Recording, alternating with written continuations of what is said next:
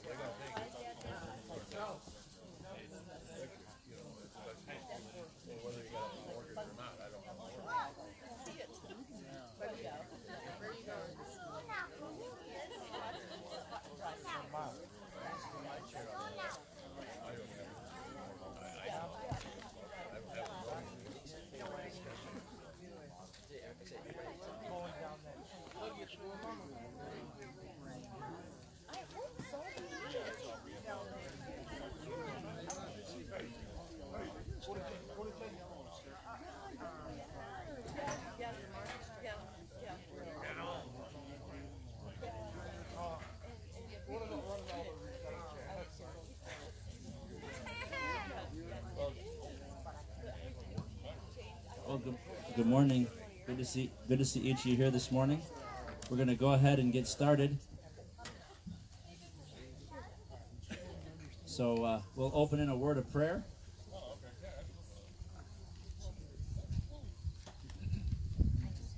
Right. Heavenly Father, we thank you for the privilege of worshiping and praising your name. Lord, we thank you for the joy to gather together in this beautiful morning. And Lord, I ask that you would purify our hearts before you, and that um, that we might worship you with a whole heart. And uh, Lord, if there is any any unconfessed sin or any uh, uh, anything that needs to be addressed, Lord, may it be addressed right now, so that our worship might be uh, uh, as you have asked, Lord, that it comes from a, a pure heart, not a divided heart. And we ask this in Jesus' name, Amen.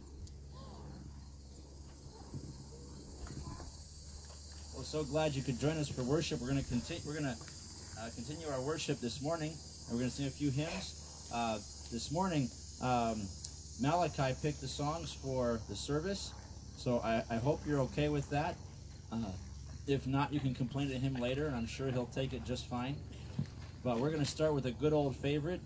Uh, Jesus paid it all.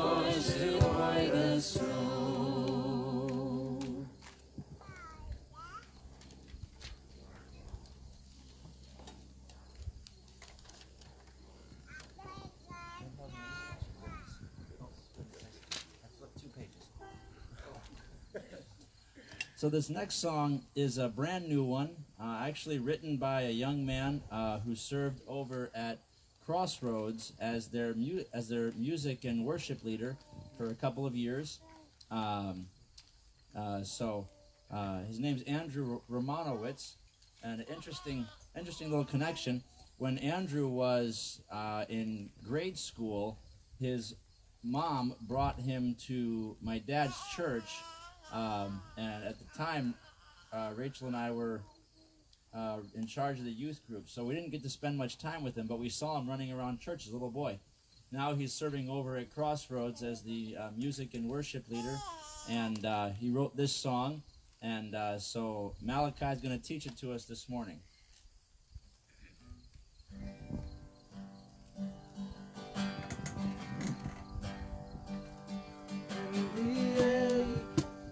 Brokenness still lingers.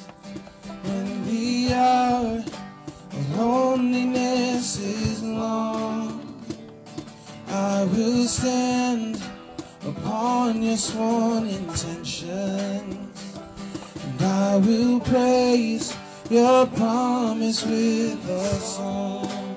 I will say goodness. I will say mercy. Surely your love, oh God, has followed me.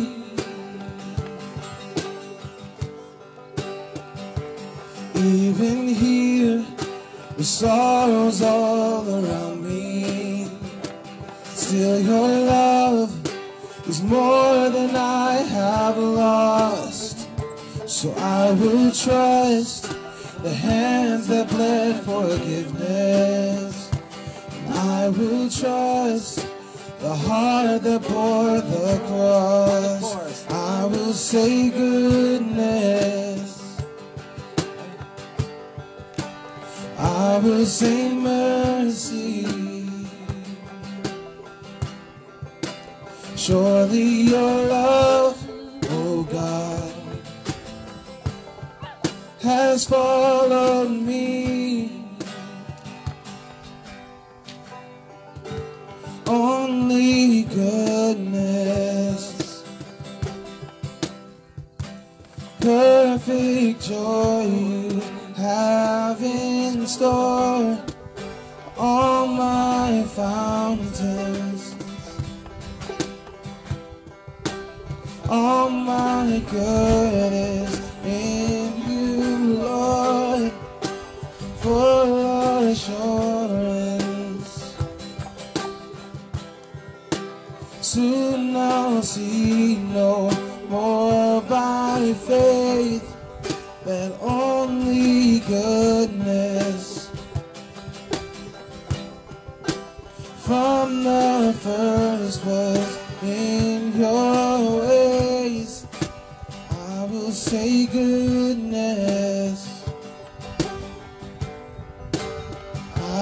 Will mercy. Surely your love, oh God, has followed me. So good, good message, huh? Good song. Uh, since most of you have never heard it before, I think we should probably sing it one more time. You might have a chance of singing along with, as opposed to humming something.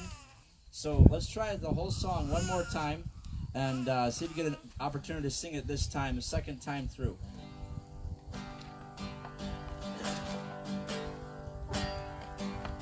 When the ache of brokenness still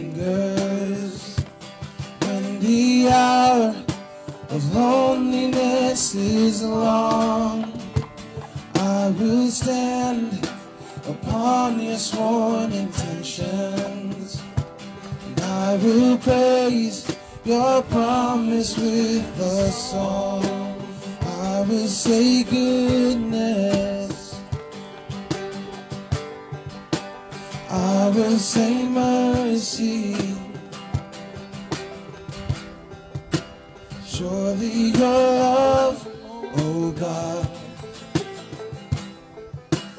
has followed me. Even here, with sorrows all around me, still your love is more than I have lost.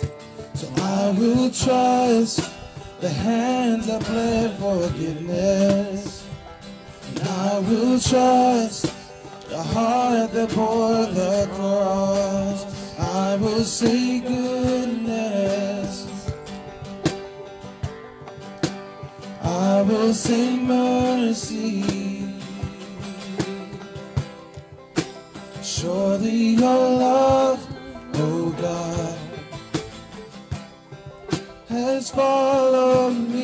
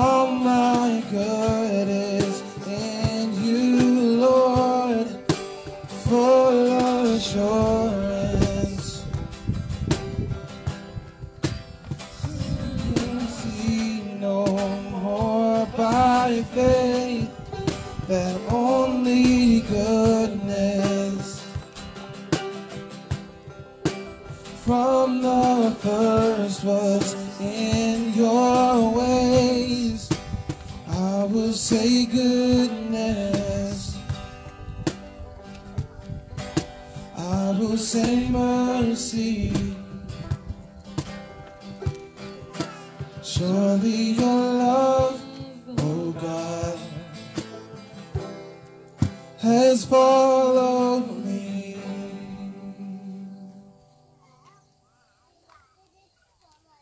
A little more fun to sing with, isn't it?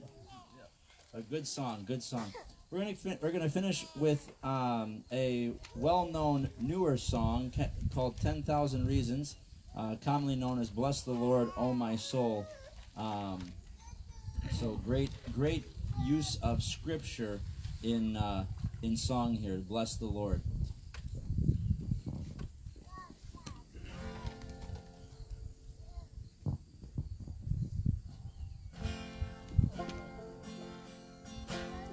Bless Bless the Lord, my soul.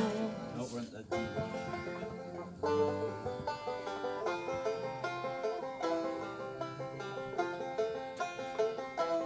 Bless the Lord, oh my soul, oh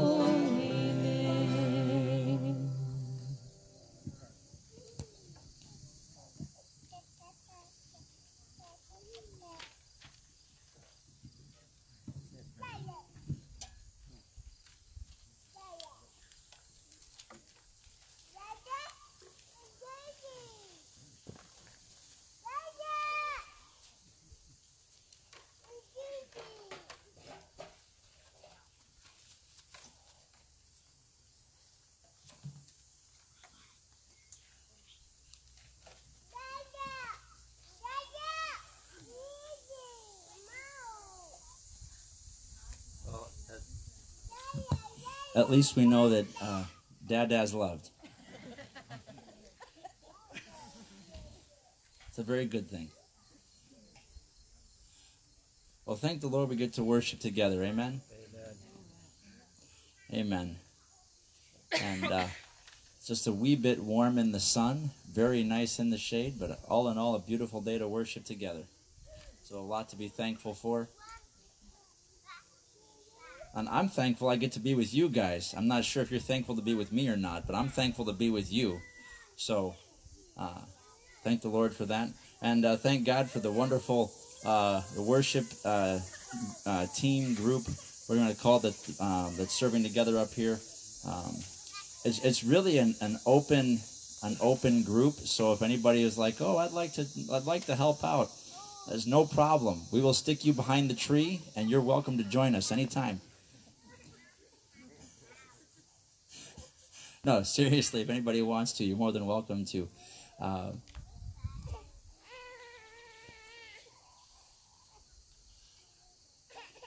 well, we are going to take a moment here for our offering this morning. And I do want to thank the many of you that uh, faithfully support First Baptist Church. Uh, if you're visiting with us, either in person or online, uh, we do not want you to feel obligated to give in the offering. Um, but if you ever forget to give your gift in person, or maybe you're just watching online and you'd like to uh, give, you can give through the uh, website as well.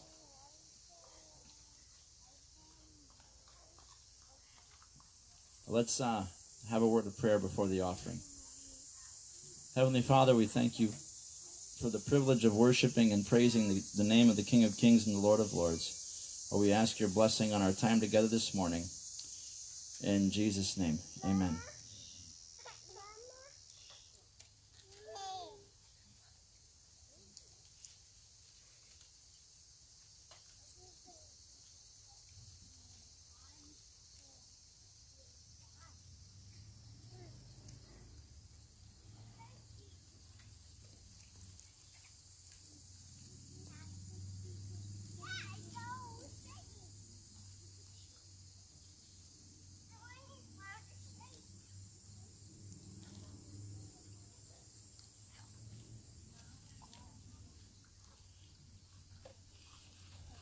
So, as we look ahead to this coming week, um, we are planning to have a Change Your Oil event this Saturday, this coming Saturday from 8 to 11.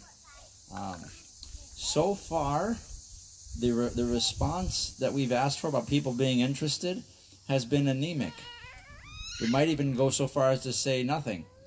Uh, I'm not saying nothing, I'm saying we could say nothing.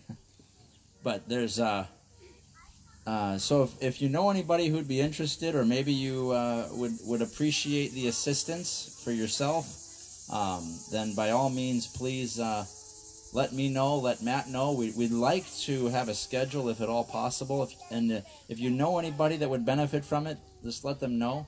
Um, honestly even if it's the day of if someone shows up and they want help and they don't have anything Matt I, one, will happily run to the store and and get what's needed.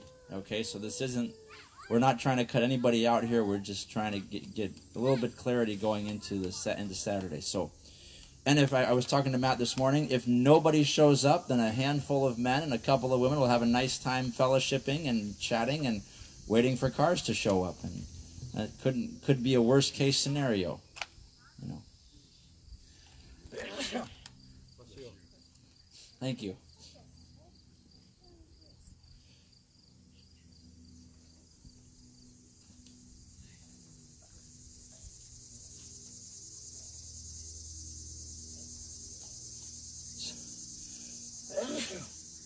Thank you.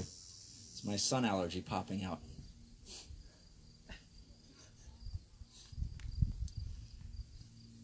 So, um, I don't know that I'm missing any announcements this morning. Um, let's see, am I missing anything announcement wise that I should be? No? Nothing? Okay. Um, so, coming up on Sunday, be two weeks from now, I believe. I think it's two weeks from now. Uh, we're going to have a, a guest in this morning. Many of you know Don Shire. Um, and in a couple weeks, he will be visiting with us. Um, so I'm sure that in the worship time, we will enjoy the added benefit of his uh, trumpet playing with us. Um, and uh, that his uh, message and presentation will be a real blessing, I'm sure.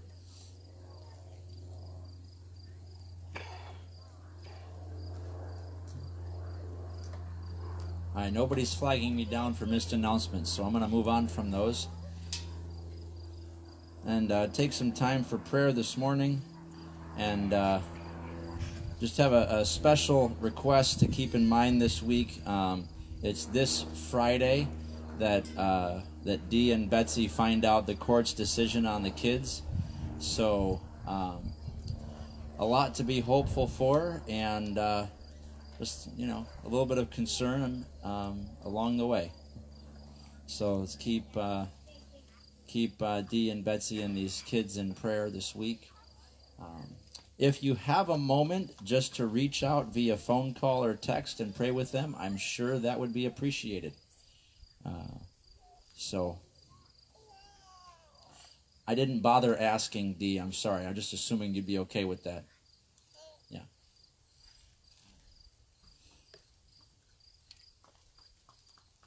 All right. Let's see. Any other uh, praises or prayer requests this morning? I want to share a praise. Um, my grandfather's memorial on Friday went very well. Um, so thanks for those of you that, that prayed for that. Um, it was a blessing.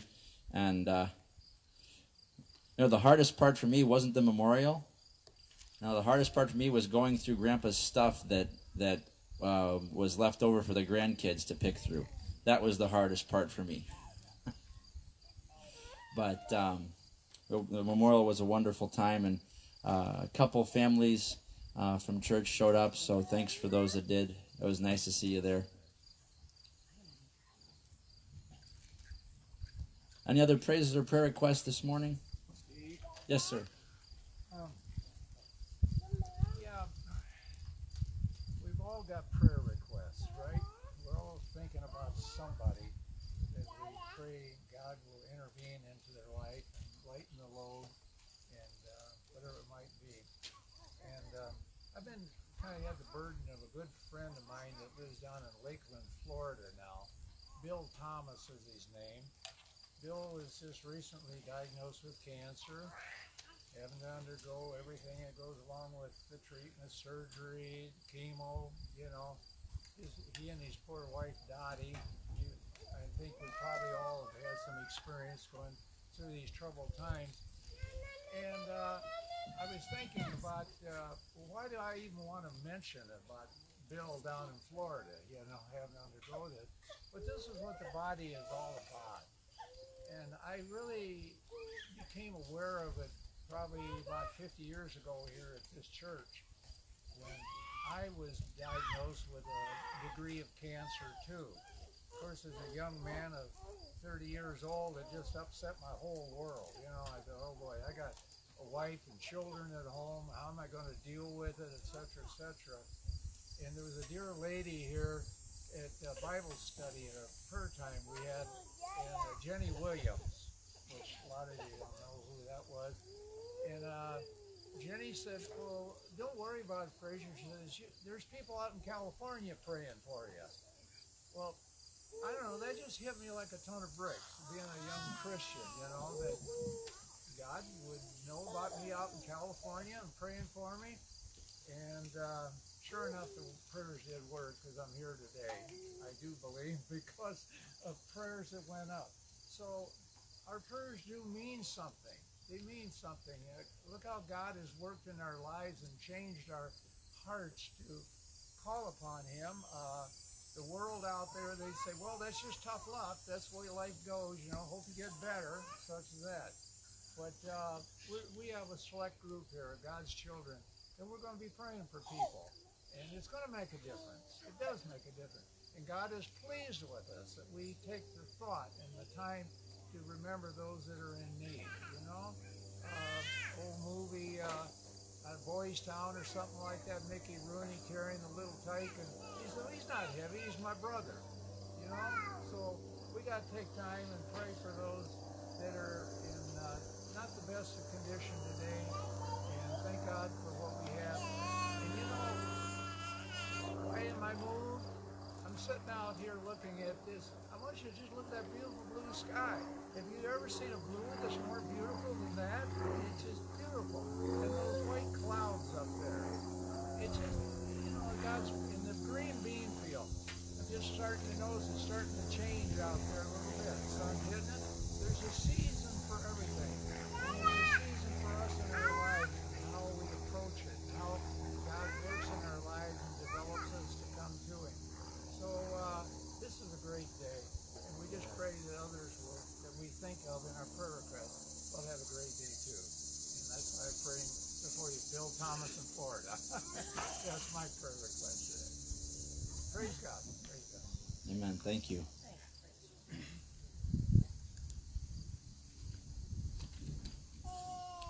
Any other praises or prayer requests this morning? my cousin Carly and her cancer, and all of her kids and her husband going through a hard time. And my grandma, she is 100% with it, and she is getting pushed by some of her children to go into a nursing home, even though it's not needed. They have they have their selfish reasons, and it's really putting my grandma in a hard place, and it really hurts the rest of us family.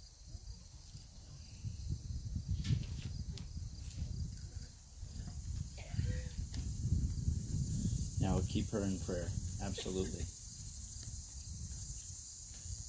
Yes, ma'am. Um, education, I'd like prayer for the students to be able to learn, uh, much this year, and for the parents that are working and trying to pull this off, uh, we still need some wonderful, uh, information for you to learn, uh, sitting in front of our computers.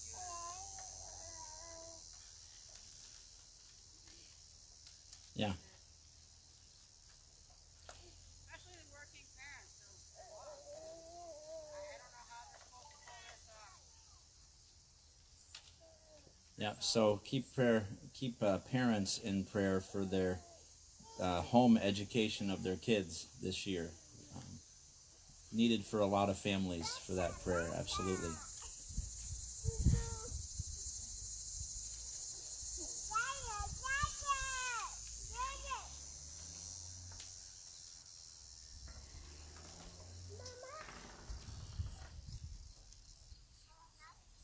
Any other praises or prayer requests this morning? Yes, sir. Yeah, uh, my dad recently was in uh, to have a CT scan, and what he went actually went in for turned out to be not an issue at all. But thankfully, they found a heart aneurysm, you know, and uh, now they can at least know to deal with it.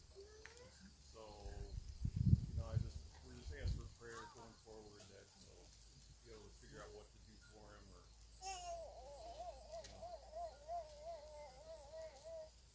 Really thankful that that he found it by accident, right? Yeah.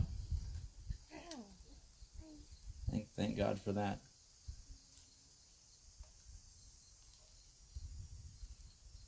Any others? Well, let's take a few moments here for prayer. Oh, did I miss one? Oh, I'm sorry, Patty. No, it's okay. You were hiding behind Philip. I was debating, but you know, I just feel the Lord, the Holy Spirit prompted me to say something. I just pray that He'll send the Holy Spirit upon our, our great country. I'm really disturbed by all of these marauders who are looting and destroying our cities.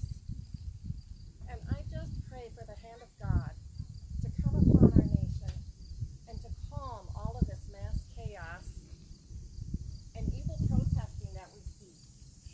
This is not this is not of God. This is evil what we're seeing displayed throughout our nation. And I just pray that he'll send his Holy Spirit and hopefully bring us all into salvation, that this will be in some way used for good.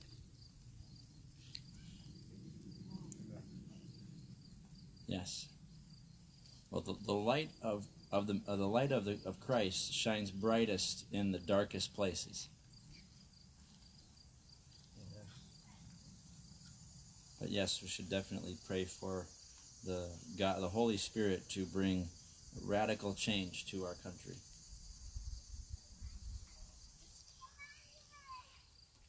All right, well, let's take a few moments here for prayer. Heavenly Father, we thank you so much for the privilege of lifting up these burdens and some of these praises before you this morning. I do want to lift up uh, Bill Thomas and the cancer that he's dealing with. Lord, that we, we thank you, as Frazier reminded us, that we can partner with your body, whether here locally or around the country or the world. And Lord, that the, the, the best way that we can care for your body is, is, is first through prayer. So we do want to lift up Bill and ask that you would provide healing for him and that you would be with Linda as they walk together through this challenging time. We also would like to lift up uh, Carly and the uh, the cancer that she's dealing with. Ask that you'd provide healing for her and an abundance of grace for her husband and her kids. Lord, for uh, Phil's grandmother, um, as uh, she's being pushed into into things that she would not prefer to do. I ask that you just give her an abundance of peace in her spirit, um, and Lord, give her the confidence she needs at the right times to be able to uh, uh, communicate clearly uh, what she wants. Lord, for um, uh, Tom Heimers, Chris's dad, Lord, thank you that uh, that you revealed this um, heart aneurysm and that you would give uh, clarity for treatment um, and even for the opportunity just to eventually remove it, Lord, as you see fit. Lord, as Patty asked for prayer for our country, we do want to lift up our country and ask that you would just pour out your Holy Spirit that the hearts of, of, of men and women might be convicted of sin and they might turn from that sin to trust you as Lord and Savior. Or as uh, Betsy asked for prayer for the kids who are being uh, educated at home, or that you just uh, provide an abundance of grace for these parents, uh, some that are in this church, but Lord, many, many outside of it, um, or that they would have an abundance of grace, and that, uh, um, Lord, that through this you would give uh, parents the opportunity and privilege to have greater influence on their children's lives. We also would like to lift up um, uh, Dick and uh, Pat and Dan and Linda before you, or that you'd be with each of them in this very painful time of separation from their spouse, um, or because of the COVID restrictions, or that you would give them grace and peace as they are going. Lord, for John and Zanoa and the trial that they are facing, that you would uh, continue to strengthen them. Um, and Lord, we do want to lift up uh, Dee and Betsy and these uh, children and this court date this week. Ask that you would work in a powerful way um, and that we would be able to uh, rejoice with your answer uh, by faith. Well, we also would like to um, lift up our nation's leaders and ask that they would submit to you as Lord and Savior. They would recognize there is a God in heaven, and Lord, that they are simply um, under delegated authority. Lord, for the salvation of our family and friends, Lord, we ask that you would work in their hearts and lives and draw them to you. They might trust you and know you as Lord and Savior. In Jesus' name, amen.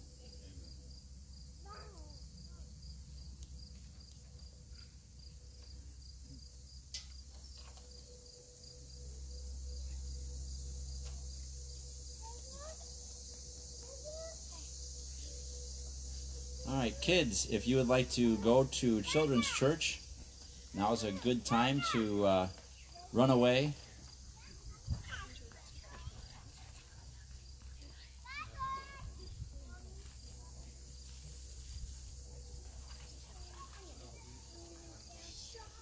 And many thanks to uh, uh, Kelsey and Lisa for uh, coordinating and running this.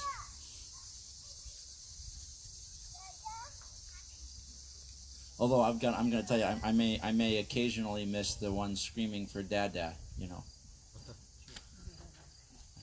Although it looks like Bug is still here, so I think we'll be okay.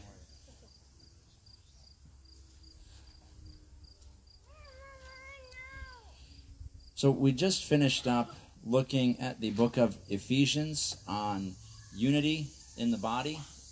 And this week we're going to start a short series on the book of First Peter, um, looking at unity, unity through persecution and trial.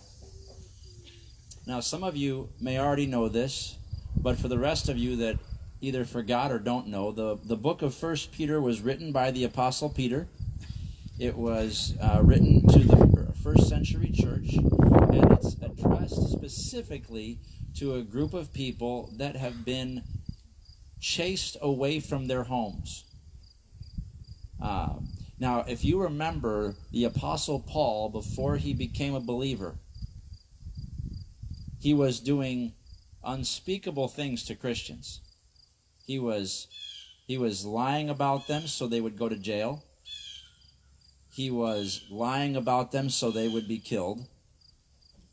Uh, he was he took pride and pleasure in chasing them out of their homes and ridding the nation of Israel of this um, um, un, I guess horrible disease of Christians. Well, the apostle Paul during his tenure at that in that position was the tip of the spear for the Sanhedrin. But don't think for one moment that just because he trusted Christ as Lord and Savior that no one stepped up to replace him. Just because he came to know the Lord and stopped doing what he was doing, there were still wicked, ungodly men behind him funding this effort. So, of course, somebody else stepped up to continue that process. And so, thousands and thousands of believers were literally chased from their homes for fear of their life or for fear of their family's life being completely ruined. So it's one of those you take what you can grab as you're on your way out. You have maybe hours of notice. And you just travel until you find a spot that you hope to settle. Now put yourself in their shoes for a moment. You come to know Christ, you're trusting him as Lord and Savior, and simply because of that fact, you you are literally running with what you can carry on your back. Or for some of the more wealthy believers, whatever they could carry on their horse. But, you know, if you're a wealthy believer, you have a lot more than your horse can carry. So let's not, you know. Um, so it was not a fun time for believers. It was not an exciting time to be a Christian. Right? The coffers of the churches were not full of money. As a matter of fact, the churches were full of hurting and ma- many penniless believers working hard to support their families, but literally trusting God for their daily bread. And that's not an exaggeration. So it was into this culture that the book of First Peter was written. So if you take your Bibles and open me to the book of First Peter, chapter 4, we're going to read a few verses this morning. You know, one of my greatest fears is going to open the scriptures while I'm preaching and not finding the book that I'm looking for when you know it's there, but you just keep flipping right by it. Been a couple times that I've sung the Bible, the Bible memories, the Bible book memory song through my head as I'm preaching to make sure I get to the right book. But you go to the book of First Peter, and we're going to be in chapter 4. We're going to look at verse 1 through 6. Therefore, since Christ, Christ suffered in the flesh, equip yourselves also with the same resolve, because the one who suffered in the flesh has finished with sin, in order to live the remaining time in the flesh no longer for human desires, but for God's will. For there has already been enough time spent in doing what the pagans choose to do, carrying on in unrestrained behavior evil desires, drunkenness, orgies, carousing, and lawless idol- idolatry. So they are surprised that you don't plunge with them into the same flood of wild living, and they slander you. They will give an account to the one who stands ready to judge the living and the dead. For this reason, the gospel was also preached to those who are now dead, so that although they might be judged by men in the fleshly realm, they might live by God in the spiritual realm.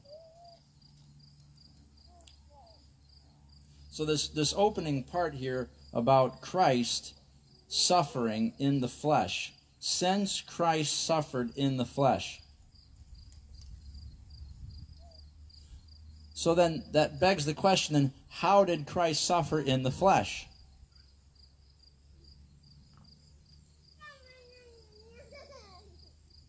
How did he suffer in the flesh? Well, Hebrews says that he had to be made like his brothers in every respect.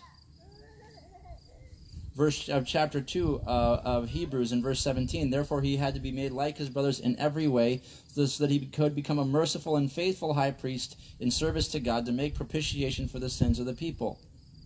For since he himself was tested and has suffered, he is able to help those who are tested. Now, most people are aware that Christ was tempted by Satan, that he visited Christ and tempted him, right, with three temptations. Uh, most people are aware that Christ suffered on the cross and that he suffered before dying on the cross. But not many, even believers, think about the suffering that Christ went through on a daily basis being misunderstood by all around him. Right? If you think you have mental suffering because nobody understands you, multiply it times 10 and Christ now you're close to the Christ the, the, the type of misunderstanding that the Messiah had. Even the people who claim to be excuse me, claimed to be his closest friends, and the people who stood by him through almost everything still did not understand him. As a matter of fact, the understanding, uh, uh, uh, the lack of understanding was so severe that when they finally realized he was prophesying about his death, which, by the way, they realized it within weeks of his death, that it was shortly after that understanding that James and John brought their mother before Jesus so that their mother could ask that each one of them would sit on his right and left hand. Now, talk about a gross misunderstanding. What they were saying was, We will follow you until you die, but when you die, we want to be in the position to assume that power. They were still thinking of an earthly kingdom, and they were still thinking about succession to the throne of this Messiah.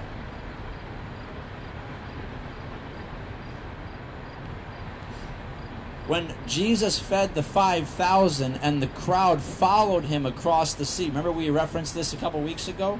I think it was last week and a few weeks before that. That what the crowd did what? They went and found him and and Jesus told the crowd, "You're here for the free food." Now, he taught them many things about God's word, but they couldn't have cared less. But free food? Where? I'll take a half day's walk for some free food.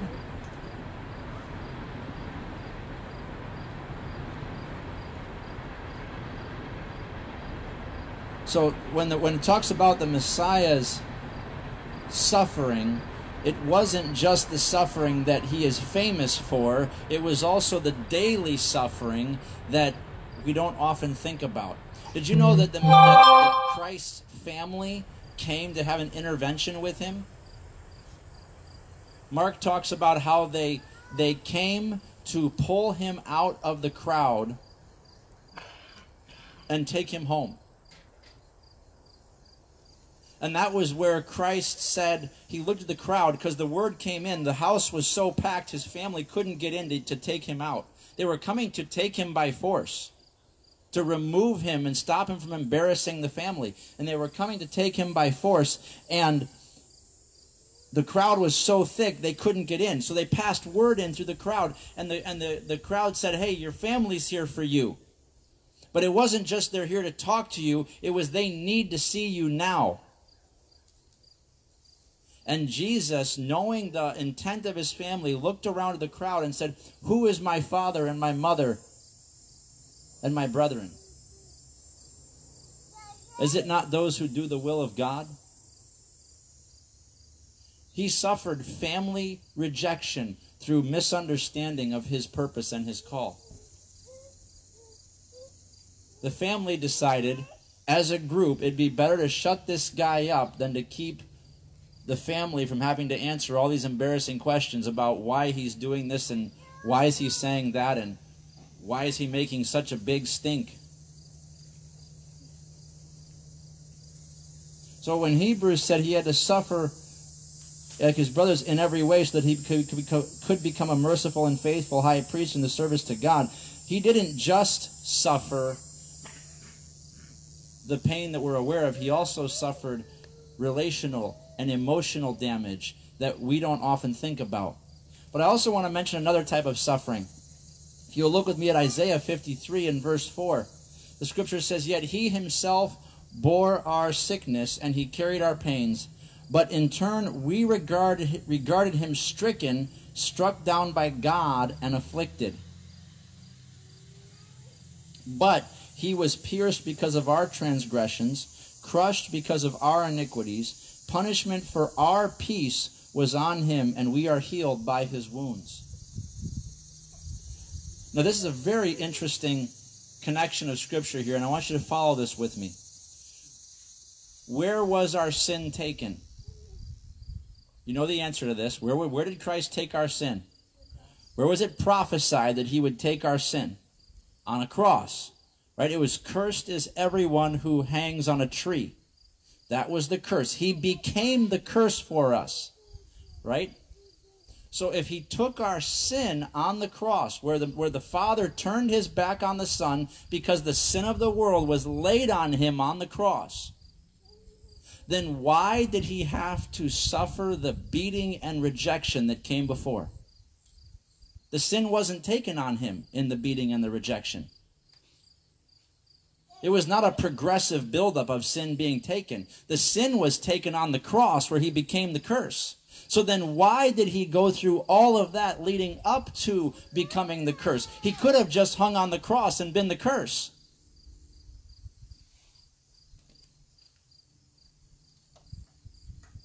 Hebrews 4:15 For we do not have a high priest who is unable to sympathize with our weaknesses, but one who has been tested in every way as we are, yet without sin. Therefore, let us approach the let us approach the throne of grace with boldness. You see, Isaiah says The punishment for our peace was on him, and his wounds bring us healing. Do you know why you can go to the Messiah in the midst of your great pain and suffering? It's because you know that He understands your pain and suffering.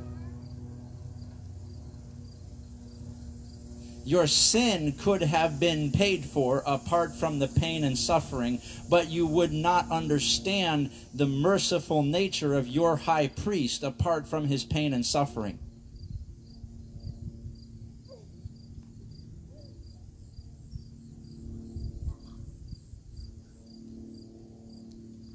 So let's look at this again in 1 Peter 4. Since Christ suffered in the flesh, because you know what he went through on your account, since he suffered in the flesh, equip yourselves with the same resolve.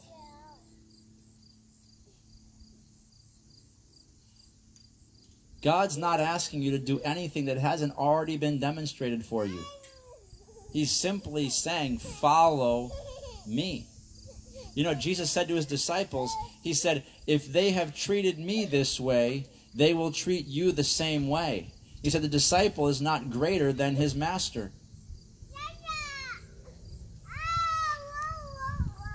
So if Christ, if Christ suffered rejection and misunderstanding and physical abuse and emotional and mental abuse because of choosing to honor God, then what makes you think that that's not going to happen to you just because you're a Christian?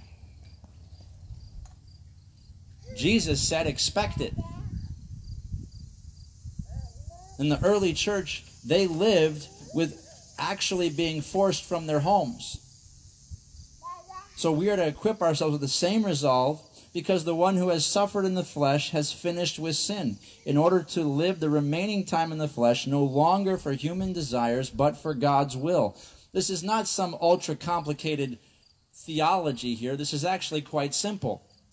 If you suffer willingly because you're choosing to honor and love the Messiah, why would you go back after that to choosing the things that the Messiah was against? If you suffered for the Messiah, you're going to continue choosing the Messiah, especially if it was willful suffering.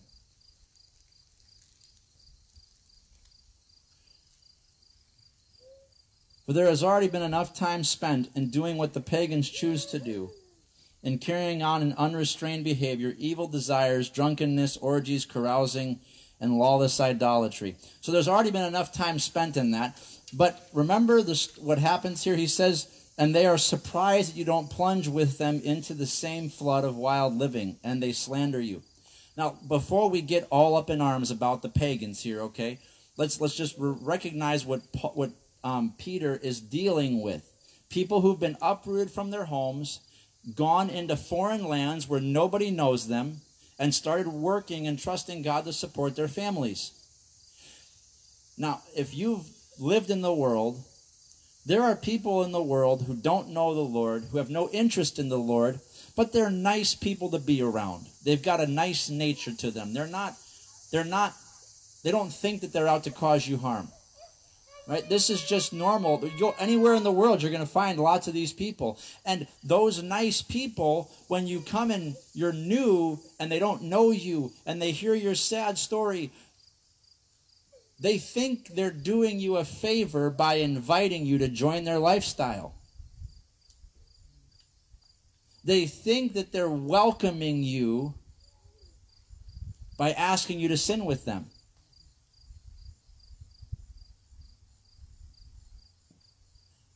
Now, if you have no idea what I'm talking about, then maybe you haven't worked out in the world long enough.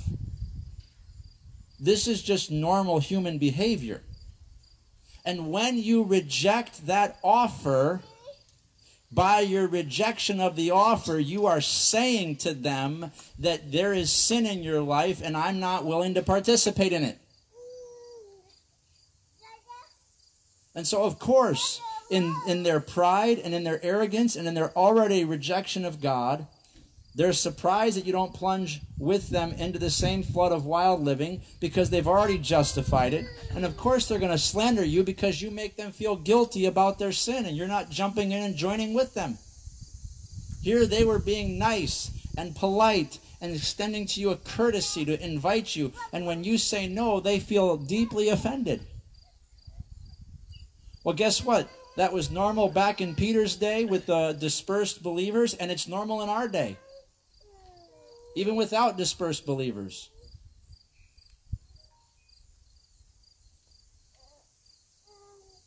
And he says they will give an account. So don't be worried about judging them. Don't don't be anxious about what's fair and what's not fair. They will give an account to the one who stands ready to judge the living and the dead. And here's this reason the gospel was also preached to those who are now dead. So, for this reason, because they're going to give an account, you're preaching the gospel, and the gospel was already preached to those who are now dead, so that so that although they might be judged by men in the fleshly realm, they might live by God in the spiritual realm. When you have been chased from your home and watched your friends killed for their faith in the Lord, you start to wonder where the justice is in the world. Start to wonder is God actually in control of this mess, of this hot mess? But they might be judged by men in the fleshly realm. They're, they're, they're going to live by God in the spiritual realm. So don't put your hope and your faith and all of your betting on the fleshly realm.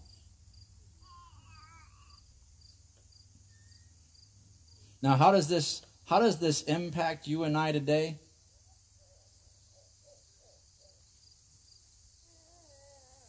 Well, sometimes it's a it's fearful even to know what to say to people who don't agree with you. Sometimes it's fearful just to go outside or to make a trip because you don't know what's going to happen. And and then and, and here's the here's the reality when God puts you in a situation because you're choosing to follow him what have you left to fear? Angry men who might kill you?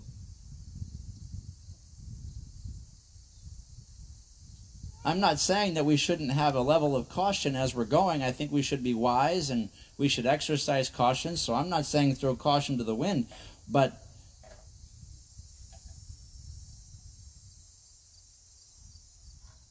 whether you die from ripe old age and because your, you know, your internal parts are failing, or whether you die while you're young because of a disease, or whether you die because somebody is causing that death, whether intentionally or unintentionally.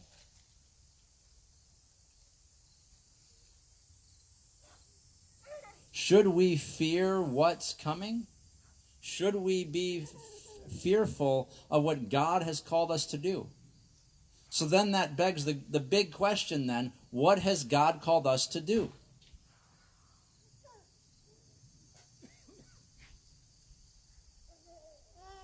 Well, and that's why we're looking at Scripture here. We're looking at unity in the body. God has called us to unity, God has called us to the gospel, God has called us to make disciples, to follow the Messiah. God has called us to remain faithful through suffering, to have the same resolve that the Messiah had.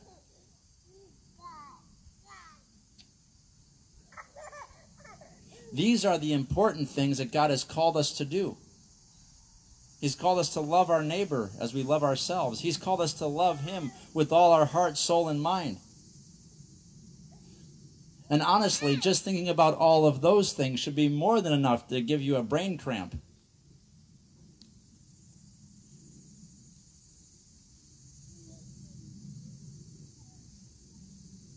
Once again, I, I said before, I think it, it's, it's appropriate to go through life with caution and to be wise. So I'm in favor of, of having a cautious moving forward and asking God for wisdom as we're going.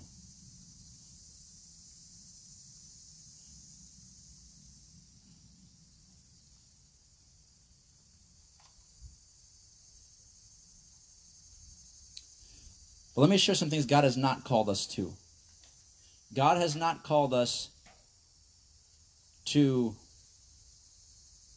to change our country through electing the right people. God has not called them to be the salt and light. He's called you to be the salt and light. You can't expect somebody who's willing and not willing to lie through their eye teeth just to get your vote to be the salt and light. And I'm referring to every single politician in the country here.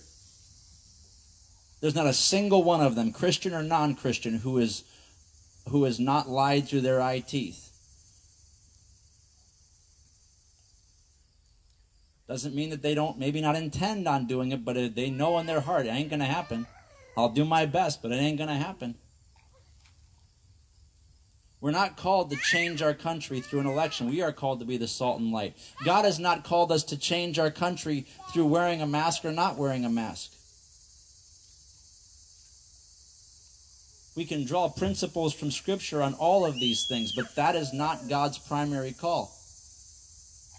God has not called us to change our country through being vigilantes and for helping, you know, you know uh, protecting, going out and trying to protect people who don't want to be protected. You know, there's so many things that we get distracted by because I feel like there's a level of control for me in the distraction. Right? I can control whether or not I have a mask on or whether or not I don't. I can control whether or not I'm stepping in to help somebody or not. I can control who I vote for. And I can put my hope in these things that I'm doing, but there's no lasting hope in any of those things. And God has not called us to these things, He's called us to His picture, His hope. Oh, yeah, one more thing that God has not called us to, and I, I hope I'm not hurting anybody's feelings with this. I may have already, but God has not called us to education, He's called us to righteousness. Right? We, we joke about certain things like cleanliness is next to godliness, which for my wife is almost not a joke. But um, we, we, we laugh at that because we know it's not entirely true, okay? It's just, it's a funny way of saying be clean. But you know what? Education is not next to godliness. Did you know that most of the highest educated people are the most fierce God haters? Did you know that education, educated people don't value God's opinion? They value other people's opinions. And they don't value your opinion unless you can quote those same other people that they're quoting. Education is not sinful. Education can be very positive, but it is not godliness.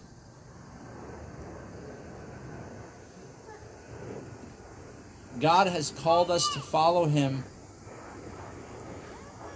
with the same resolve that the Messiah had.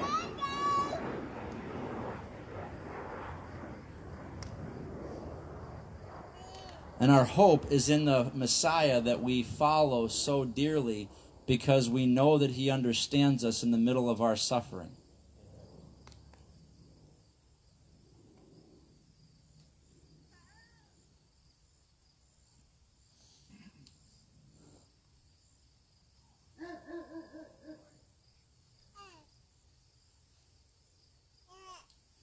Next week, we're going to look at where the Peter says, The end of all things is near.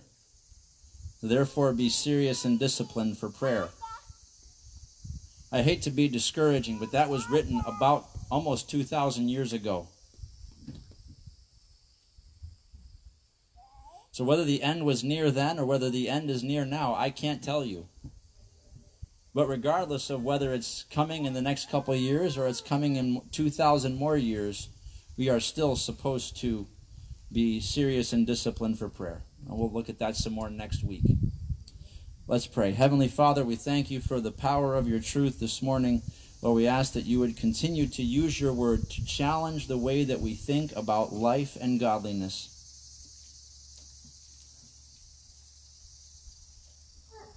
Oh, we thank, we're thankful that your word is the hope that we have to renew our minds, that we might prove what is the good and acceptable and perfect will of God. Lord, give us the faith that we need to trust your word as we are going. In Jesus' name, amen. We're going to close with a well known favorite Amazing grace, how sweet the sound that saved a wretch like me. I once was lost, but now am found, was blind, but now I see. There's a lot of blind people in this world, and what you're seeing from them is the evidence that they're blind. And they need hope. The amazing hope of the Messiah.